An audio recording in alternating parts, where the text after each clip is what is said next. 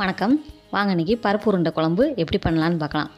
நான் நூறு கிராம் உலக்கில் ரெண்டு உலக்கு குழம்பு கடலப்பருப்பு ஊறப்பட்டு வச்சுக்கோங்க ஒரு மூணு மணி நேரம் ஊறப்பட்டு வச்சுக்கோங்க. கடலப்பருப்பு ஊறினதுக்கப்புறம் நம்ம தண்ணியெலாம் இல்லாமல் மிக்ஸி ஜாரில் போட்டு ஒன்று ரெண்டாக குறகுறப்பாக அரைச்சிக்கலாங்க. ரொம்ப நைஸாக இருக்கணும்னு அவசியம் இல்லை. அதுக்கப்புறம் ஒரு கடாயில் எண்ணெய் ஊற்றி ஒரு ஸ்பூன் சோம்பு ஒரு ஸ்பூன் ஜீரகம். பொடியாக நறுக்கின பெரிய வெங்காயம் ஒன்று ஒரு நாலு பச்சை மிளகாய் கொஞ்சம் கருவேப்பிலை. அரை ஸ்பூன் மஞ்சள் தூள் அரை ஸ்பூன் பெருங்காயத்தூள் இதையும் சேர்த்துக்கிறோம். தேவையான அளவு உப்பு சேர்த்துட்டு லைட்டாக ஒரு வதக்கு வதக்கிட்டு கொஞ்சம் மல்லி இலைகள் அப்புறம் நம்ம ஏற்கனவே மிக்சியில் அரைச்சி வச்சுருந்தோம் இல்லையா?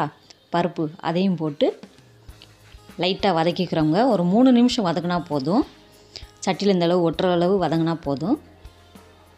இப்போ நம்ம இன்னொரு கடாயில் எண்ணெய் ஊற்றி கொஞ்சமாக வெந்தயம் கொஞ்சம் கடுகுழுந்தம் பருப்பு ஒரு அஞ்சாறு பூண்டு பல் சின்ன வெங்காயம் கொஞ்சம் நறுக்கி வச்சுருக்கேங்க.